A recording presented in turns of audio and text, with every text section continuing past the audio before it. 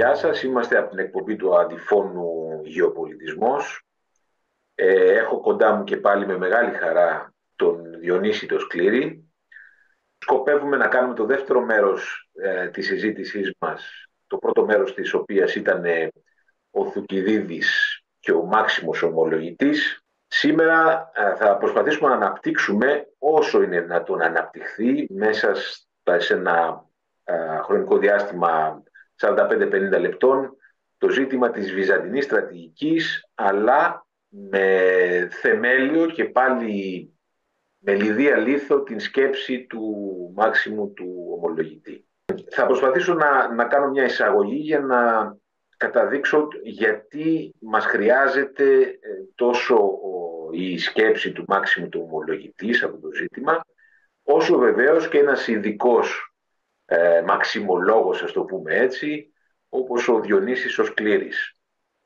Καταρχήν να πούμε για την Βυζαντινή στρατηγική. Είναι ένα τεράστιο ζήτημα. Ε, αναρωτιέται κανείς πώς θα μπορούσε να το πιάσει, ε, από ποια πλευρά να το πρωτοπιάσει, ε, από την πλευρά, ας το πούμε έτσι, της στρατιωτικής ιστορίας, από την πλευρά της, ε, τη, της επιστήμης των Βυζαντινών σπουδών, ας το πούμε έτσι, από σύγχρονα έργα ε, στρατηγικής, από ε, την έννοια γενικώς της στρατηγικής ή πιο ειδικά από την, ε, από την Βυζαντινή ιστορία.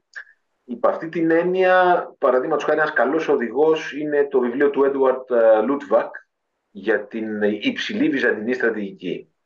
Βάζει, βάζουμε μπροστά και το υψηλή παρότι παραδείγματος χάρη για βυζαντινολόγους το υψηλή στρατηγική, υψηλή βυζαντινή στρατηγική είναι ένα ζήτημα σχετικό. Παραδείγματος χάρη για τον Τζον ε, Χάλντον, που και αυτός είναι ένας ειδικός του, της ε, βυζαντινής στρατηγικής της, και της βυζαντινής στρατιωτικής ιστορίας, από τις πλέον πρόσφατες ιστορίες και μάλιστα αρκετά πυκνές υπό την έννοια ότι ε, εξετάζει το ζήτημα της βυζαντινής στρατηγικής και του βυζαντινού στρατού από την άποψη της ε, κοινωνικής διαστρωμάτωσης του βυζαντινού στρατού, κάτι που δεν είχαν κάνει προηγούμενες ιστορίες του βυζαντινού στρατού.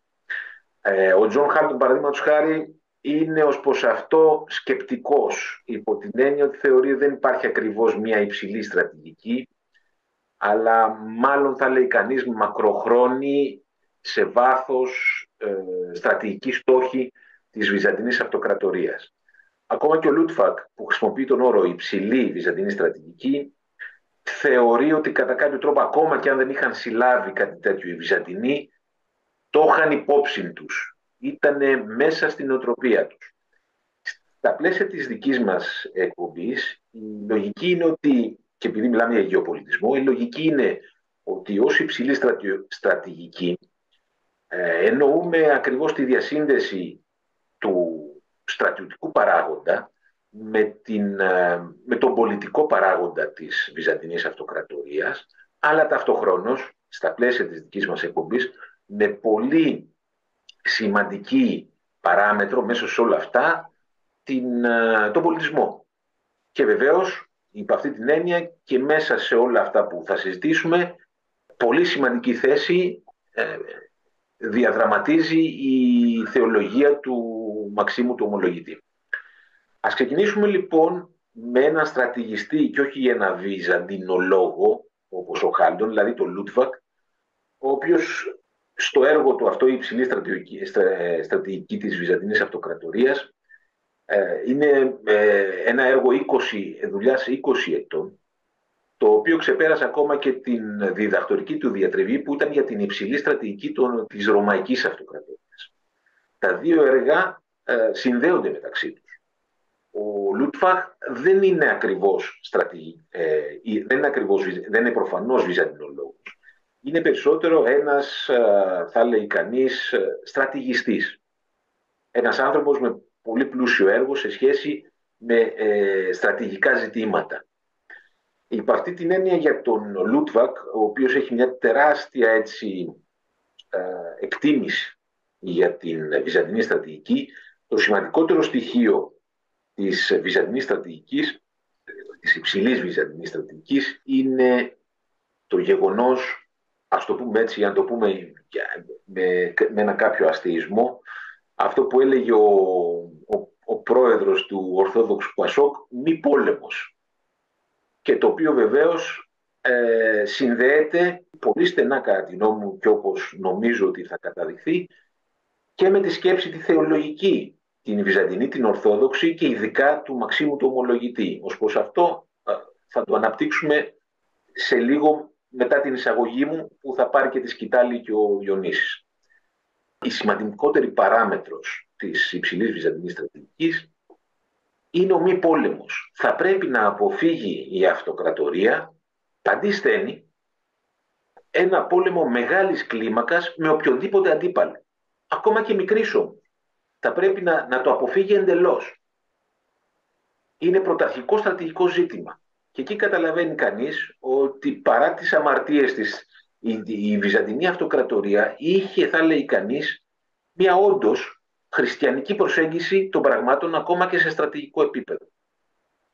Το ότι αποφεύγει κάποιος τον πόλεμο δεν σημαίνει ότι προετοιμα... δεν προετοιμάζεται γι' αυτόν.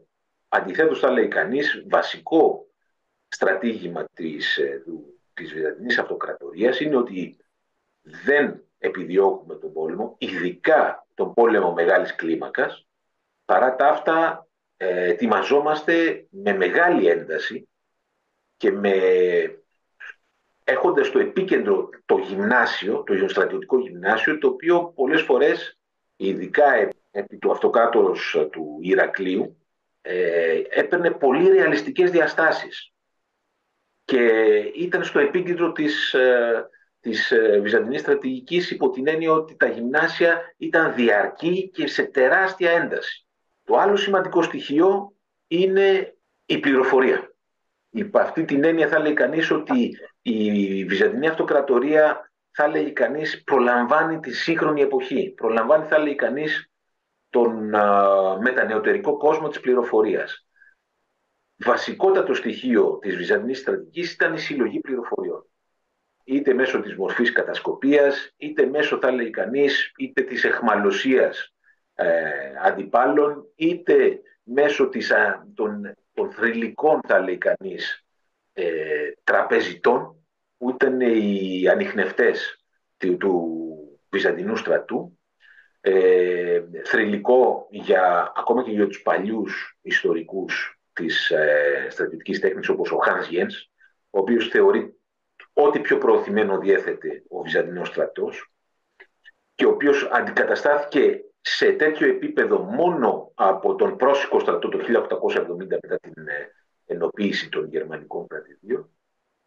Η συλλογή αυτών των πληροφοριών είχε, ήταν πολυεπίπεδη, ήταν από, την, ε, από αυτά τα ανιχνευτικά σώματα, τα αναγνωριστικά σώματα των τραπεζιτών ε, στα σύνορα, μέχρι θα λέει κανείς το, ένα τεράστιο δίκτυο κατασκόπων στο, στο στο εσωτερικό των αντιπάλων κρατών, αλλά και αυτό που ονομαζόταν ε, παθητική κατασκοπία, δηλαδή την οποιαδήποτε συλλογή πληροφοριών και την ε, ενημέρωση των προϊσταμένων σε σχέση με, οποια, με οποιοδήποτε είδους πληροφορία. Ένα τρίτο επίπεδο, οπωσδήποτε, ήταν ε, η λογική ακριβώς της, ε, της επίθεσης, αλλά με πολύ μικρά τμήματα. Δηλαδή θα λέει κανείς ότι και σε αυτό η βυζαντινή στρατιωτική τέχνη προηγείται θα λέει κανείς της εποχής της και θυμίζει την πολύ μεγάλη σημασία που αποκτούν οι ειδικές δυνάμεις στον 20ο αιώνα. Πολύ μικρά τμήματα, πολύ ευέλικτα, τα οποία δεν λειτουργούν με ανοιχτές επιθέσεις, αλλά με, κυρίως με επίδρομες, όπου και πάλι η εμπλοκή τους θα πρέπει να είναι περιορισμένη και δεν θα πρέπει να προκαλεί απώλειες. Πολύ σημαντικό επίσης ζήτημα ήταν η διπλωματία. Η διπλωματία στο Βυζάντιο ήταν πολύ έντονη ακόμα και κατά τη διάρκεια του πολέμου. Η διπλωματία σε πάρα πολύ μεγάλες έτσι, και κρίσιμες στιγμές του Βυζαντίου έδωσε νίκη που δεν έδωσαν τα στρατεύματα ή έδωσε μια προθύστερη νίκη την οποία απλώς εκπλήρωσαν, ε, εκπλήρωσε το στράτευμα.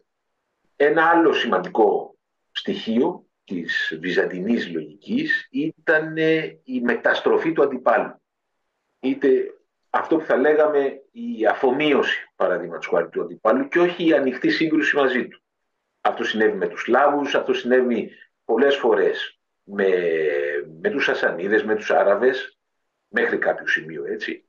Η λογική ήταν ότι ακριβώς θα έπρεπε να αποφευχθεί η, η σύγκρουση, η πολεμική σύγκρουση και να ε, ανοιχθεί θα λέει κανείς το πεδίο ενός πολέμου ο οποίος αν τον κρίναμε με τα ομυρικά μέτρα δεν, δεν ήταν ένας πόλεμος του Αχιλέα ή του Έαντα αλλά της Οδυσσεϊκής Πανουργίας. Έκανα αυτή την εισαγωγή. Έχω να πω ακόμα πολλά πράγματα γιατί υπάρχουν ε, οπωσδήποτε μεγάλες τομές και δεν ξέρω αν θα μας φτάσει μια εκπομπή για να μπορέσουμε να μιλήσουμε για αυτό. Αλλά μέσα σε αυτό το πλαίσιο θα σου δώσω τη σκητάλη για να πεις διάφορα πράγματα πώς, για το πώς, ας το πούμε έτσι, εμφυλοχωρεί μέσα σε όλο αυτό, σε όλη αυτή τη σκέψη, η θεολογία του Μαξίμου του Ομολογητή.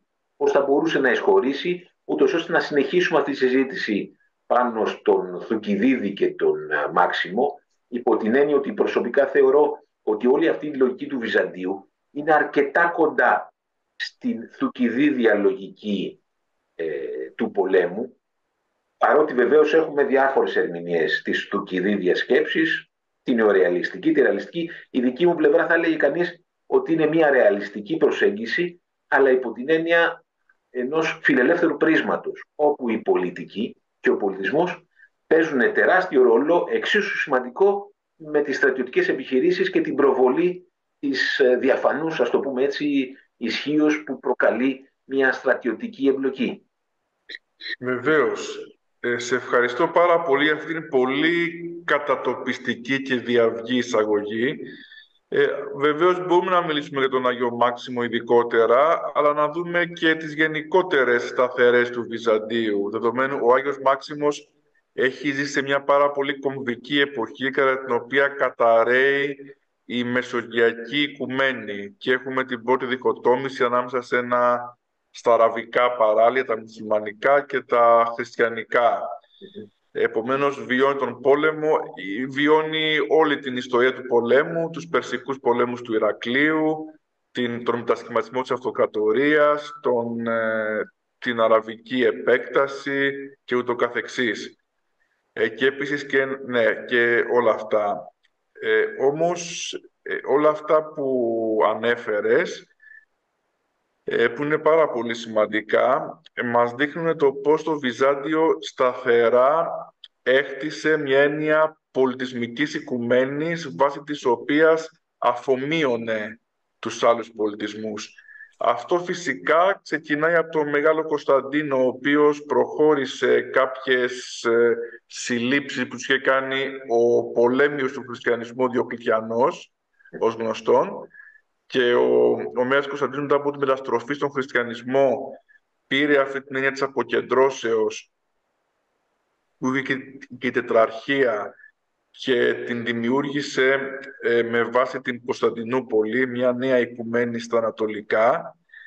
Και αρχίζουμε να έχουμε διάφορες μορφές πολιτικής θεολογίας ε, αυτό που έχει κάποιο ενδιαφέρον ίσως θεολογικό και πολιτικό είναι ότι ο Ευσέβιος Κεσαρίας που είναι ο ιστορικός του Μεγάλου Κωνσταντίνου ε, γενικότερα στη συνείδηση της Εκκλησίας έχει καταδικαστεί εν μέρη και έχει καταξιωθεί εν μέρη. Δηλαδή θεωρείται ότι είναι ημι-αριανός, δεν είναι εντελώς στον χώρο της αιρέσεως, αλλά δεν είναι εντελώς ούτε και στον χώρο της Ορθοδοξίας είναι αναμφίβολα ένας τεράστιος εκκλησιαστικός ιστορικός, είναι αναμφίβολα αυτός που έχει αρχίσει μια πολιτική θεολογία εντός του Βυζαντίου, αλλά δεν είναι αστασίαστα ενταγμένος στην εκκλησιαστική πολιτική θεολογία. Ε, όταν λέμε η διαμάχη μεταξύ αριανισμού και ορθοδοξίας, τον 4ο αιώνα πήρε τα εξής χαρακτηριστικά. Ο αριανισμός είναι μια ιεραρχική θεολογία στην οποία ε, υποτάσσεται, υπάρχει ένα κάθετο σχήμα όπου ο Υιός υποτάσσεται στον Πατέρα, αντιστοίχως το Άγιο Πνεύμα στον Υιό και αυτό έχει, ο, ο ιός επίσης είναι δημιούργημα και αυτό έχει ως αποτέλεσμα μια πολιτική θεολογία που ήταν ένας πρόδρομος του Ισλάμ. Δηλαδή ήταν μια πολιτική θεολογία βικαρίου, αντιπροσώπου του Θεού επί της γης. Ο λόγος είναι ο αντιπρόσωπος του Θεού στα κτίσματα και ο αυτοκράτορας είναι ο αντιπρόσωπος ενός κτιστού λόγου. Οπότε αυτό έχει το έντονο κοντράστ ότι ο, ο Θεός αποσύρεται στην, ε, στην υπερβατικότητα και εντός της, του κόσμου έχουμε τον, το κτίσμα λόγο και τον αυτοκράτορα ως εγκόσμια εικόνα του. Ε, αυτό είναι βεβαίως η πλήρως αριανική θεολογία. Στον Ευθύβιο και Σαρίτη, να είμαστε δίκαιοι ιστορικός, δεν έχουμε αυτή την ε, πλήρως αριανική θεολογία. Έχουμε κάποια ψήγματά της με την έννοια ότι έχουμε μια έντονη πολιτική θεολογία του αυτοκράτορα ως εικόνα του λόγου ε, δεν είναι πλήρως αριανός όλα αυτά τα ότι ο λόγος είναι κτίσμα και το καθεξής, αλλά υπάρχει, ε, υπάρχει αυτή η θεώρηση, ο αυτοκράτορος ως εικόνα του λόγου. Το ενδιαφέρον είναι ότι κατά τον 4ο αιώνα ε, η δυναστεία του Μεγάλου Κωνσταντίνου ήταν επηρεασμένη από τον Ευσέβιο Νικοδημί, Νικομιδίας, οι δύο Ευσέβοι που είναι μετά πατριάρχης κιόλας, οι δύο Ευσέβοι Νικομιδίας και Κεσαρίας καθορίζαν αρκετά στον λόγο της αυτοκρατορίας. Και τελικά ο αριανισμός χάνει προς το τέλος του αιώνα. Το ενδιαφέρον ότι αυτό το οποίο είναι το αντίδοτο στον αριανισμό είναι μία τριαδολογία όπου τα τρία πρόσωπα έχουν ίση, ε, έχουν ισότητα, ισότητα ουσίας, οπότε εγκαθίσταται ένα είδος κοινωνίας εντός του Θεού. Ο Θεός να είναι μοναχικός, είναι μια τριάδα προσώπων και αυτό θα λέγαμε ότι κατά μία έννοια οδηγεί και σε ένα είδος πολυπολικότητας αντί για μονοπολισμό, γιατί η εικόνα της Αγίας Τριάδας στον κόσμο ε, είναι, όταν μιλάμε δηλαδή για εικόνα του Θεού, δεν μιλάμε για τον μοναχικό αυτοκράτορα που είναι η εικόνα του κτιστού λόγου, που είναι ο μεσίτης προς τον Θεό, του λόγου που είναι είτε κτιστός στην ακραία μορφή του αριανισμού, είτε ε, όχι κτιστός, αλλά σίγουρα υπό τον πατέρα, δηλαδή δεν έχει πλήρη ισότητα ουσίας. Αυτό λέγεται subordinationismus στα λατινικά, θα το λέγαμε ως θεωρία υποταγής ή ιεράρχησης στα ελληνικά. Και επομένως από τους Καπαδόκες και μετά όταν μιλάμε για εικονισμό του Θεού, μιλάμε για μία ε, πολυπολική, πλουραλιστική ε, κοινωνία ανθρώπινη η οποία εικονίζει την πολυπολική, πλουραλιστική Αγία Τριάδα. Και αυτό σταδιακά παίρνει την μορφή μιας πενταρχίας των Πατριαρχείων μέχρι τον 5ο ε, αιώνα, η οποία είναι σε διαλεκτική σχέση με την ε, αυτοκρατορία που έχει τον αυτοκράτορα τον ένα, όμως κάτω από τον ένα αυτοκράτορα υπάρχουν τα πέντε κέντρα Κωνσταντινούπολη, Αντιόχεια, Αλεξάνδρεια, Ρώμη και Ιεροσόλυμα. Και είναι πέντε κέντρα που έχουν το καθένα διαφορετική του πνευματικότητα. Δηλαδή η Αντιόχεια έχει πιο πολύ την πνευματικότητα του ηθικισμού και του βολονταρισμού. Η Αλεξάνδρεια έχει πιο πολύ την ε, πνευματικο... μια σύνθεση νεοπλατωνισμού και, και χριστιανισμού. Η Κωνσταντινούπολη έχει την καπαδοκική θεολογία και η Ρώμη έχει μια θεολογία διαλεκτική αντιθέσεων. Ωραία, να το, Είναι να το συνδέσω, να το συνδέσω ναι, με αυτό, να πάρω από όλο αυτό. Το σημαντικό που είπες είναι, ε, για να μιλήσουμε για βυζαντινή υψηλή στρατηγική, είναι η πολιτική θεολογία. Έτσι. Ναι. Ε, το, και για να το συνδέσουμε με το στρατιωτικό, ας το πούμε έτσι, πολεμικό το πολεμικό παράγοντα της υπόθεσης, προφανώς αρχίζει να βγαίνει το μεγάλο ερώτημα, στο να, να εισέρχεται, ας το πούμε έτσι, το μεγάλο ερώτημα αν υπήρξε ποτέ η πολιτική θεωρία, του, η πολιτική θεολογία του δικαίου πολέμου στο Βυζάντιο. Το οποίο είναι νομίζω ένα πολύ σημαντικό στοιχείο, γιατί οπωσδήποτε ε, μας δίνει την ευκαιρία να συγκρίνουμε Ανατολή και Δύση, Ρωμαϊκή Αυτοκρατορία, γιατί στην ουσία αν από κάπου ξεκινάει αυτό το ζήτημα της πολιτικής θεολογίας και ειδικά του, του δικαίου πολέμου είναι η ύστερη Ρωμαϊκή Αυτοκρατορία, ε, οπωσδήποτε έχουμε τις γνωστές, η γνωστή επεξεργασία του ζητήματος από τον Αμβρόσιο ή τον, ε, τον Αυγουστίνο, οι οποίες πολύ αργότερα θα συστηματοποιηθούν από τον Θωμά τον Ακινάτη και βεβαίως θα γεννήσουν εν της πράγμαση τις σταυροφορίες. Η μεγάλη, το μεγάλο ερώτημα για τους Βυζαντινολόγους είναι αν υπήρξε ποτέ, υπάρχει οπωσδήποτε ο Ιερός Πόλεμος έτσι, το, του Ισλάμ, έτσι, όπου υπάρχουν αντίστοιχες επεξεργασίες νομολογικές κυρίως του, ε, του πότε είναι δίκαιος ή ιερός ένας πόλεμος, έτσι, ή τζιχάντ και τα λοιπά και όλα αυτά. Το ερώτημα είναι λοιπόν αν υπήρξε ποτέ στο Βυζάντιο. Οι Βυζαντινολόγοι λένε πως κατά κάποιο τρόπο η, η εμφάνιση ενός τέτοιου, ας το πούμε έτσι, θρησκευτικού, αποκαλυπτικού πολέμου υπό την έννοια ενός ιερού θρησκευτικού πολέμου είναι οπωσδήποτε η τομή του Ηρακλείου.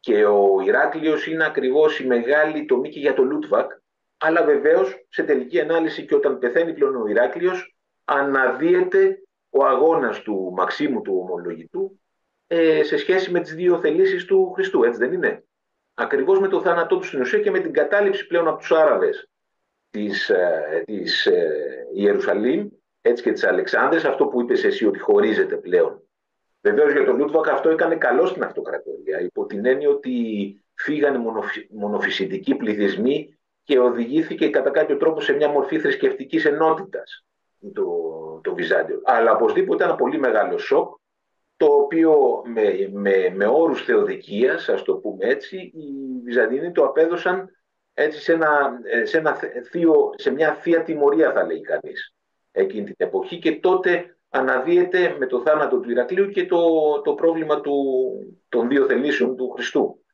Αλλά το σημαντικό είναι το εξής. Και βέβαια αργότερα οι Βυζαντινολόγοι μιλάνε και για τις εκστρατείες του Νικηφόρου του δεύτερου του Φωκά, έτσι, του Ιωάννη του πρώτου του Τσιμισκή, Ιωάννη Τσιμισκή. προς, τις, προς, την, προς, τη, προς τους Άραβες και τα λοιπά. Η μεγάλη τομή οπωσδήποτε είναι ο αγώνας του Ηρακλείου ε, προς, του, προς τους Σασανίδες, όπου θα λέει κανείς ότι είναι ε, η πολύ μεγάλη τομή τόσο για τα, για τα στρατηγικά ζητήματα, όσο και για το ζήτημα της πολιτικής θεολογίας. Γιατί για πρώτη φορά θα λέει κανείς ότι ο πόλεμος απέναντι στους Ασανίδες παίρνει τη μορφή ενός ιερού πολέμου. Ο Ηράκλειος εμφανίζεται ως νέος Κωνσταντίνος, αλλά οπωσδήποτε και ο αγώνας του απέναντι στους Ασανίδες, οι οποίοι έχουν δώσει με τη δική του σειρά πρωτίστως έχουν δώσει στον ζωροαστρισμό και με, μέσω του ζωροαστρισμού την εντύπωση ότι διεξάγουν ένα αγώνα κατά τους κότους που είναι ο χριστιανισμός από την δια του Χοσρόη του Δευτέρου ο οποίος ξεκάθαρα και σε επιστολές του προς τον Ηράκλειο ε, τονίζει το στοιχείο της, ε, το ζωροαστρικό στοιχείο το οποίο πρέπει να διεξαγάγει αυτόν τον πόλεμο απέναντι τις δυνάμεις τους σκότους που είναι το Βυζάντιο. Απ' την άλλη πλευρά θα λέει κανείς ότι οι, οι εκστρατείες του, η ανακατάληψη, η ρεκονκίστα, η ρεκονκίστα που λέμε του Ηρακλείου, της, ε, κυρίως της Ιερουσαλήμ, η οποία έχει καταληφθεί βεβαίως μαζί με την Αλεξάνδρεια από τους Σασανίδες και η κλοπή του Σταυρού του Χριστού, ο οποίος είχε μεταφερθεί στην πρωτεύουσα της, ε, της ε, αυτοκρατορίας των Σασανιδών, στην Κτίσφων, είχαν προκαλέσει ένα ρίγο, θα λέει κανείς, το οποίο έδινε αποκαλυπτικές, μεσιανικές πλέον διαστάσεις. Τι να πρωτοπιάσει κανείς από αυτό το ζήτημα; Καταρχήν, ότι για πρώτη φορά χρησιμοποιείται ο όρος βασιλεύς, που έχει πολύ μεγάλη σημασία για την πολιτική. Συγγνώμη. Που είναι περσικός που είναι περσικός, είναι βεβαίως ένα κληροδότημα των ελληνιστικών βασιλείων, αλλά και η τεράστια ναι. παράδοση η ελληνική, η αρχαιοελληνική του, η βασιλική παράδοση, η αλεξανδρινή παράδοση κτλ. Αλλά και ένα πολύ λεπτό σημείο. Καταρχήν ο βασιλεύς αντικαθιστά το, το Imperator Caesar Augustus, που μέχρι τότε χρησιμοποιεί το Μάλλον για να το διορθώσω, εννοούσα ότι είναι ένας ελληνικός όρος, ο οποίος όμως στην αρχαία Ελλάδα αποδίδεται κατεξοχήν στον Πέρση βασιλέα. Ναι, αποδίδεται Και μετά, όπως είπες, ναι. και στα ρωμαϊκά και στα, στην ελληνική γλώσσα των ρωμαϊκών χρόνων ήταν ο αυτοκράτος Ρωμαίων, αλλά ο βασιλεύς ήταν ο Πέρσης. Ναι, βεβαίως, το, το, ποιο ήταν το, το, το σημαντικό εδώ, ήταν η θεοποίηση, θα λέει κανείς, του πολιτικού προσώπου, του πολιτικού αρχηγού και στρατιωτικού αρχηγού. Το οποίο έχει μια μακρά παράδοση, θα λέει κανείς, η οποία όσο και αν είναι περίεργο είναι κυρίως ελληνική. Υπό την έννοια ότι εμφανίζεται στο τέλος του Πολυπονσιακού πολέμου, στην προσπάθεια θεοποίησης του Σπαρτιάτη Λισάνδρου, μετά τις νίκες του στους εγώς ποταμούς και την, στην ουσία ήταν οι, οι τελικές νίκες, οι αποφασιστικές νίκες απέναντι στους Αθηναίους Αργότερα εμφανίζεται, αλλά δεν γνωρίζουμε αν, αν όντως ο Αλέξανδρος θεοποιήθηκε, όσο το πούμε έτσι, βασιλιάς, ως μονάρχης. Οπωσδήποτε όμως έχουμε θεοποίηση του Ρωμαίου Κέσαρα, του Κέσα, του Ιούλιου Κέσαρα, στην ελληνική επικράτεια. Και βεβαίως έχουμε την μεγάλη πλέον χρήση της θεοποίησης του Αυγούστου, η οποία ήταν και η μεγάλη νίκη, θα λέει κανείς, του πριγκιπάτου απέναντι στη Ρεπούμπλικα. Ήταν ένα πολύ κρίσιμο σημείο στο οποίο πλέον η Ρεπούμπλικα ε, υποχωρούσε και ερχόταν πλέον η, η, η αυτοκρατορία του, του, του Αυγούστου. Ας το πούμε έτσι. Απ' την άλλη πλευρά θα λέει κανείς σε στρατηγικό επίπεδο η,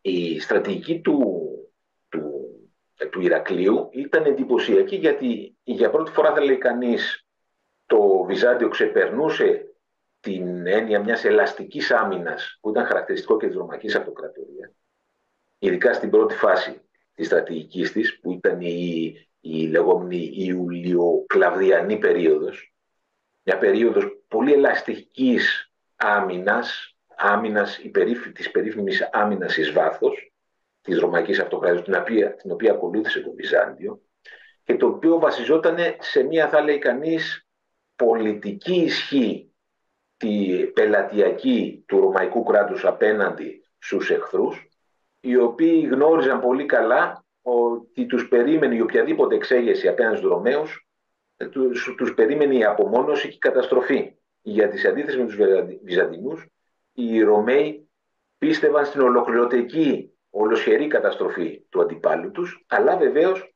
χρησιμοποιούσαν πολύ χαρακτηριστικά, θα 'λεγε κανείς, την πολιτική της αφομοίωσης. Στην πρώτη φάση, όπως λέει ο Λούτβακ, της ρωμαϊκής στρατηγικής, η... δεν υπάρχει παντού, μια πανταχού παρούσα ρωμαϊκή στρατιωτική δύναμη. Αντιθέτως, θα λέει κανείς, υπάρχει μια πολύ μεγάλη απόσταση από τα στρατηγικά κέντρα που πρέπει να ελέγξουν, γιατί αυτά τα κέντρα ελέγχονται με την περίφημη κλιεντέλα, με το πελατειακό σύστημα. Αυτό στη δεύτερη φάση δεν μπόρεσε να λειτουργήσει και η αυτοκρατορία οδηγήθηκε σε υπερέκταση. Σε υπερέκταση η οποία ε, την ανάγκαζε να βρίσκεται παντού σε επίπεδο στρατιωτικό. Ταυτοχρόνως η πολιτική της αφομοίωσης δεν δούλευε. Όλα αυτά θα λέει κανείς υιοθετούνται από το Βυζάντιο, αλλά ταυτοχρόνως η ήπια ισχύς γίνεται ακόμα πιο έντονη. Θα λέει κανείς, γίνεται στην ουσία το κυρίαρχο, ο κυρίαρχος στρατηγικός γνώμονας της Βυζαντινής στρατηγικής.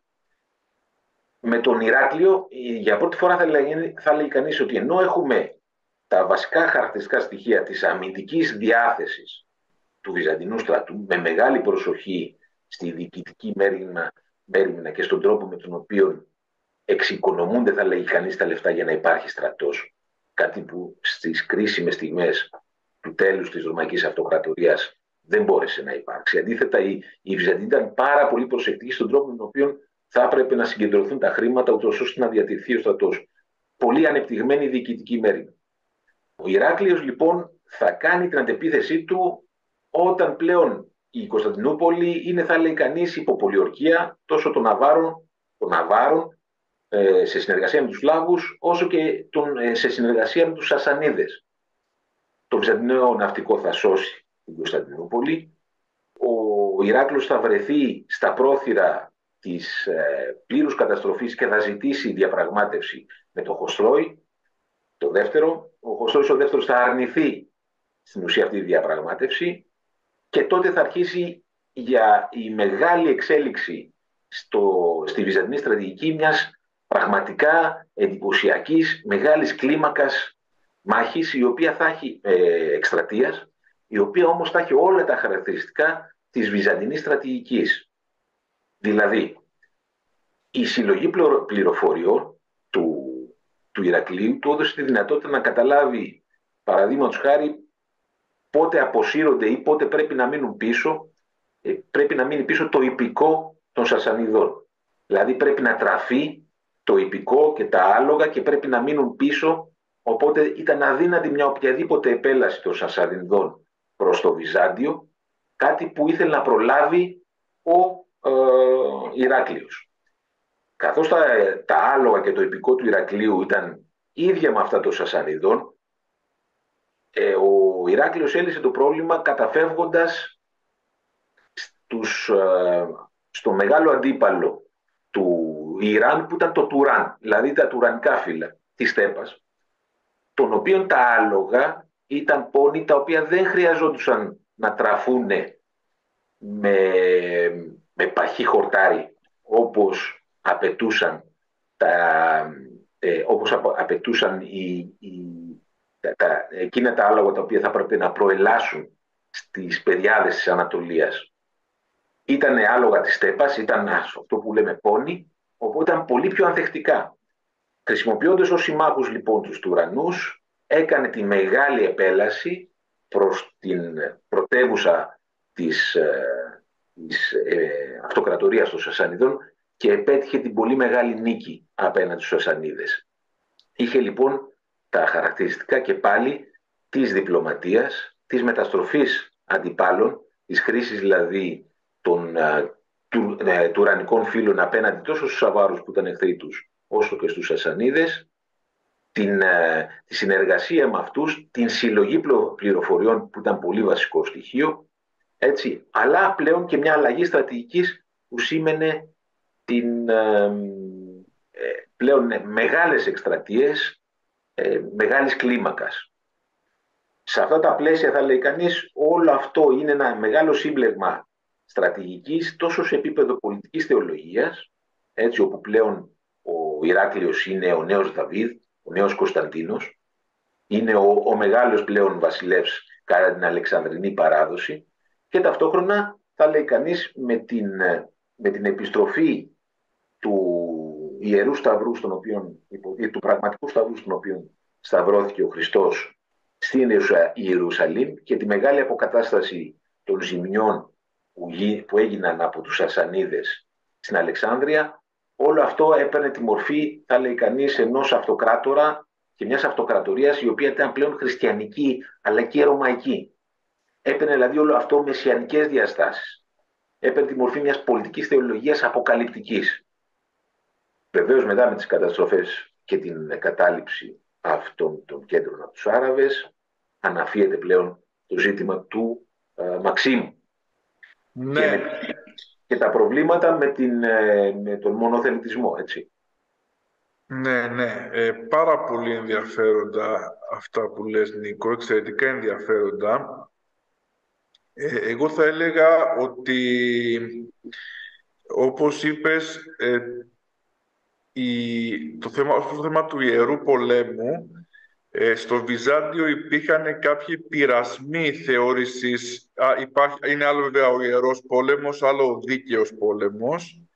Ναι, ε, στο Βυζάντιο υπήρχαν κατά κυρίως ορισμένοι πειρασμοί είτε να πάει προς τον Δίκαιο Πόλεμο είτε προς τον Ιερό, αλλά ήταν μάλλον ξένο προς την οτροπία του. Ε, βεβαίως, βεβαίως στην αρχή όταν ο Μέγας Κωνσταντίνος ε, νικάει με το εντούτο νίκα τους αντιπάλους του, μπορεί να θεωρήσει κανείς ότι αυτή η νίκη επί του παγανισμού ε, είναι ένα είδος ε, καταξίωσης δια των όπλων, αλλά αυτό που κυρίως ε, θεωρείται ο σημαντικό είναι η πολιτική νίκη του χριστιανισμού.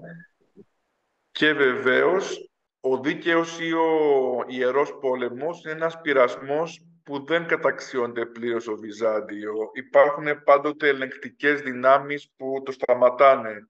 Λόγω χάρη έχουν τον Νέα Κωνσταντίνο μια ιδέα ότι για τον όπλο νικάται ο παγανισμός. Αυτό όμως αμέσως μετατρέπεται σε ένα πολιτικό διακύβευμα και ο αυτοκράτορας χάνει τη Θεία Έγκλη και μετατρέπεται σε έναν πρόεδρο της Οικουμενικής Συνόδου. Αυτό είναι το κύριο χαρακτηριστικό του. Ε, ο Ευσέλιος Κεσαρίας προσπαθεί, όπως είδαμε, να κάνει μία θεολογία του αυτοκράτορα ως εικόνας του λόγου, αλλά αυτό αμέσως ε, εξισορροπείται από, μία, ε, από την ε, ανθρώπινη κοινότητα ως εικόνα μιας πλουραλιστικής Αγίας Τριάδας. Αυτό αντιστοιχεί και στα πέντε διαφορετικά πατριαρχία. Εδώ βεβαίως μετά από το Μέγα Θεοδόσιο, που αντιστοιχεί στη Δεύτερη Οικουμενική Σύνοδο, τίθεται ένα σοβαρό ζήτημα. Ε, αρχίζει, να, αρχίζει η λογική ότι την κοινωνική συνοχή την προσφέρει η Ορθοδοξία. Αυτό είναι ένα δίκοπο μαχαίρι, γιατί όντως κατά μία έννοια η Ορθοδοξία προσφέρει μια έντονη, ένα έντονο αξια... μια έντονη κοινωνική συνοχή λόγω του ίδιου αξιακού συστήματος, αλλά υπάρχει και το πρόβλημα ότι όταν υπάρχει μία θρησκευτική διαίρεση και ενδεχομένως σχίσμα, αυτό οδηγεί αμέσως σε πρόβλημα πολύ μεγάλο για την επιβίωση της αυτοκρατορίας. Οπότε έχουμε τα πέντε κέντρα, όπως είπαμε, στα οποία όταν αρχίζουν μεγάλες αποκλήσεις υπάρχει ζήτημα αν θα αποκοπούν περιοχές από την αυτοκρατορία. Οπότε είναι τρόπον τεινά δίκοπο μαχαίρι. Γι' αυτό και έγινε μια πολύ μεγάλη θεολογική επεξεργασία του ζητήματος ότι είναι άλλο η διάκριση και άλλο η διαίρεση. Είναι θεμητή και επιθυμητή η διάκριση με τρόπο ώστε η Εκκλησία και η Αυτοκρατορία να εικονίζουν την Αγία Τριάδα η οποία έχει διακρίσει εντός της αλλά είναι ανεπιθύμητη η διαίρεση, το σχίσμα. Πρέπει να πούμε βεβαίως ότι η Χριστιανική Εκκλησία ε, διακρίνεται από τον αυτοκράτορα, δεν ταυτίζονται μαζί τους. Μπορεί ο αυτοκράτορας να συγκαλεί τις συνόδους, όμως η Εκκλησία παραμένει διακριτή. Ο πόλεμος λαμβάνει το χαρακτήρα περισσότερο, όπως είπες, ανάκτησης. Έχουμε την πρώτη ρεκονκίστα από τον Ιουστινιανό, που είναι στο όνομα της αναβιώσεως της Ρωμαϊκής Οικουμένης.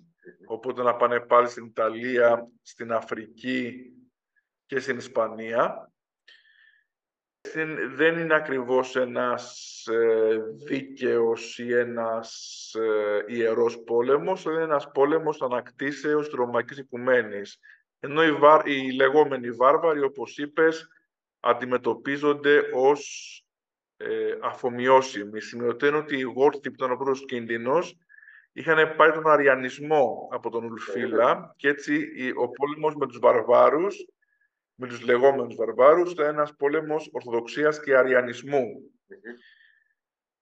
Ε, ο δίκαιος πόλεμος αναφέρεται πάρα πολύ στην λατινική θεολογία του Αυγουστίνου και είναι πάρα πολύ χαρακτηριστικό ότι ο Αυγουστίνος στον Αυγουστίνο γενεαλογείται η τρόπο τεινά συγκρουσιακή τριαδολογία, η οποία φτάνει μέχρι τον Χέγγελ και τον Μάρξ. Δηλαδή, ο Αυγουστίνος είναι αυτός ο οποίος διατύπωσε την Αγία Τριάδα με όρους ε, αλληλοσυμπληρώσεως που είναι οριακά ε, συγκρουσιακή. Δηλαδή, ο, ο πατήρ ως, ε, ως μνήμη, ο Υιός ως κατανόηση αυτού που έχει μνημονευθεί και το πνεύμα, Άγιο Πνεύμα ως αγάπη ε, αυτού που έχει κατανοηθεί. Βεβαίως, οι ιστορικοί επιμένουν ότι η συγκρουσιακή κατανόηση της Τριάδας είναι μεταγενέστερη και ανήκει στον σχολαστικισμό. Ο, στον Αυγουστίνο δεν έχουμε ακόμα συγκρουσιακή κατανόηση της Τριάδας, αλλά έχουμε μία κατανόηση αλληλοσυμπληρώσεως. Ε, υπάρχουν, όμως δεν είναι ίσως ε, άτοπο να πούμε ότι δεν είναι τυχαίο ότι στον Αυγουστίνο έχουμε από τη μια τις πρώτες ρίζες μιας τριάδας η οποία εξελίσσεται, μιας εξελισσόμενης τριάδας. Είναι δηλαδή μια ψυχολογική τριαδολογία όπου έχουμε έναν πατέρα που είναι η αφετηρία, έχουμε τον Υιό ως μια συμπλήρωση που αργότερα όμως ερμηνεύεται και ως αντίθεση και έχουμε το Άγιο Πνεύμα να επιβεβαιώνει την αρχική, την αρχική κατάφαση του πατρός. Αυτό είναι μια αρχική μορφή της διαλεκτικής, που μετά πήγε στους σχολαστικούς και μετά ε, έχουμε τον Χέγγελ, τον Μάρξ, όλους αυτούς. Και αυτό έχει ένα συγκρουσιακό πυρήνα. Δηλαδή έχουμε μια καταξίωση μιας ζωογόνου δυναμικής συγκρούσεως εντός της Αγίας Τριάδας. Ε, και ταυτόχρονα έχουμε και μια θεολογία ότι θα μπορούσε και στον κόσμο ο πόλεμος να είναι δίκαιος υπό όρους. Αυτό είναι ξένο ψηνοτροπία της Ανατολής, η οποία δεν έχει καθόλου διαλεκτική θεοδολογία. Η ενότητα της Αγίας Τριάδας δεν είναι το Άγιο Πνεύμα ως τελείωση της Αγίας Τριάδος, από εξέλιξη, αλλά είναι ο πατήρ. Και αντιστοίχως δεν υπάρχει μία, ε, μία θεωρία δικαίου πολέμου ανεπτυγμένη. Ε, βεβαίως, στο πλαίσιο της ανακτήσεως έχουμε και τον Ηράκλειο, όπως είπες, ως ε, ε, κατά μία έννοια Ιωνί πρωτοσταυροφόρο. Εντάξει, αυτό είναι ένα σχήμα προθύστερο, αλλά υπάρχει μία έννοια δικαίου πολέμου στη λογική της ανακτήσεως. Και εκεί πρέπει να πούμε ότι γίνεται το εξής. Το Βυζάντιο το αντιμετωπίζει με πάρα πολύ έντονο ζήτημα το πρόβλημά του ότι το ότι κατέστησε την ε, Ορθοδοξία ως κριτήριο της κοινωνικής συνοχής ήταν δίκοπο μαχαίρι γιατί σε κάποιο βαθμό υπό τον αυτοκράτορα αυτό δούλευε και τα πέντε κέντρα αλληλοσυμπληρώνονταν αλλά από κάποιο σημείο και πέρα οι εκρήξεις ήταν μη διαχειρίσιμες και πολιτικές αντιθέσεις, όπως ήταν λόγω χάρη αντίθεση ανάμεσα στους Αιγύπτιους, στους Κόπτες, Κόπτες σημαίνει Αιγύπτιος, και τους, αυτό είναι μια, η αντίθεση Αιγυπτίων και Ελλήνων είναι μια αντίθεση η οποία χρονολογείται από την, από, το, από την Αλεξανδρινή κατάκτηση και από τους Πτολεμαίους. Είναι πάρα πολύ παλιά ιστορία. Ήταν μια μικρή κρούστα Ελλήνων ήταν μια, με μια Αιγυπτιακή ενδοχώρα. ήταν αυτή. Οπότε δημιουργεί το φαινόμενο ότι εθνικά, εθνοτικές, εκεί βέβαια υπάρχουν μεγάλες συζητήσεις. Εγώ είμαι της άποψης προσωπικά ότι δεν πρέπει να τα βλέπουμε όλα υπό τη δική μας οπτική αναχρονιστικά, αλλά μπορεί, μπορεί με τρόπο αυθεντικό να υπήρχε ένας συνδυασμός εθνοτικής, κοινωνικής και θρησκευτικής διαπάλης και δεν μπορούμε οπωσδήποτε να προτάξουμε τι είναι το, η βάση και τι είναι το επικοδόμημα. Είναι δύσκολο να το πει αυτό κανείς. Πάντως έχουμε διαφορές που είναι ταυτόχρονα κοινωνικές, εθνοτικές και θρησκευτικές. Και οι, οι Αιγύπτιοι, οι Κόπτες, ας το πούμε έτσι, ε, οχυρώνονται πιο πολύ γύρω από μια μονοφυσιτική θεολογία, όπου αυτό είναι εν μέρη και θεμαρολογίας, δηλαδή είναι θεμαρολογία της ελληνικής και της αιγυπτιακής και της, της γλώσσας της εντόπιας στην Αίγυπτο, αλλά είναι ίσως και θέμα διαφορετικής κατανόησης της ενώσεως Θεού και ανθρώπου. Αλλά η υπάρχει και διαμάχη με την Αντιόχεια. Στην αρχή έχουμε διαμάχη Αλεξάνδρειας και Αντιόχειας, η οποία επιλύεται. Η τελική όμως διαμάχη είναι μεταξύ Αλεξάνδρειας και Εξωτερινού Πόλεως, ε, τον 7ο αιώνα. Ε, και τελικά είναι πάρα πολύ ενδιαφέρον ότι αυτοί που για εμάς ως ενδόνυμο ονομάζονται Ορθόδοξοι, για τους ε, μονοφυσίτες ονομάζονται μελχίτες, δηλαδή βασιλικοί. Οι Ορθόδοξοι ονομάζονται από αυτούς τους πληθυσμούς οι βασιλικοί. Δηλαδή η Ορθοδοξία γίνεται και ως... Ε, και εδώ θα ήθελα να βάλω ένα προβληματισμό, μήπως τελικά εσύ το περιέγραψες με όρους κυρίως θετικούς, ότι το Βυζάντιο, και εγώ συμφωνώ με αυτά που είπες, ότι το Βυζάντιο είχε, είχε τη συνοχή, ε, κατάφερε η στρατηγική του με αυτή τη συνοχή να αποφύγει περί τους πολέμους, να μείνει σε μια λογική αφομοίωσης. Ε, ωστόσο, θέτω ένα ζήτημα και αποτυχίας ιστορικής, ότι εν τέλει αυτό που δούλεψε για κάποιους αιώνες με το συνοδικό σύστημα, που εξορροπούσε τις αντιθέσεις, λόγου χάρη είχαμε τις συνοδικές προσλήψεις, όπου όταν ήταν μια σύνοδος που μπορεί να ήταν αποτέλεσμα οξιών συγκρούσεων, εκ των υστέρων αυτή η σύνοδος γινόντουσαν επιστολές μεταξύ λόγου χάρη του Αλεξανδρίας Κυρίλου και του Διοχίας Ιωάννη, τα βρίσκανε και η πρόσληψη ήταν συμφιλιωτική. Και επίσης υπήρχαν και διορθωτική σύνοδοι, ήταν μια στο καρφί και μια στο πέταλο. Η τρίτη σύνοδος δίνει έμφαση στην, ε, ε, στην Αλεξάνδρεια, η τέταρτη στην Αντιόχεια, η πέμπτη πάλι στην Αλεξάνδρεια. Υπάρχει δηλαδή, εκεί υπάρχει όντως μια διαλεκτική ανατολικού τύπου. Και τελικά είχαν πετύχει μέχρι κάποιο σημείο μια εξισορρόπηση, αλλά στο τέλος του 6ου αιώνα και στις αρχές του 7ου, αυτό το πράγμα δεν συγκρατείται άλλο και κρύγνεται η αντίθεση της Αιγύπτου προς το Βυζάντιο, την οποία την εκμεταλλεύονται, την αξιοποιούν, θα λέγαμε, οι Άραβες, ώστε οι ανατολικές επαρχίες να πέσουν ως όριμο φρούτο και έτσι το τελικό σύστημα της πολυπολικής αυτοκρατορίας δέχεται ένα τεράστιο πλήγμα. Με τον Άγιο Μάξιμο έχουμε το εξής χαρακτηριστικό. ο Ηράκλειος, στην προσπάθειά του να διατηρήσει την, την ενιαία αυτοκρατορία, καταφεύγει σε μια κρατική αίρεση, όπως, όπως ονομάστηκε αργότερα, που είναι ο μονοθελητισμός, ο οποίος είναι ένας τεχνητός αυτοκρατορικός συμβιβασμός μεταξύ ε, της, ε, του μονοφυσιτισμού και της, και της καπαδοκικής θεολογίας. Ε, είναι ένας τεχνητός συμβιβασμός. και των ε, ακριβώς αυτών των περιοχών.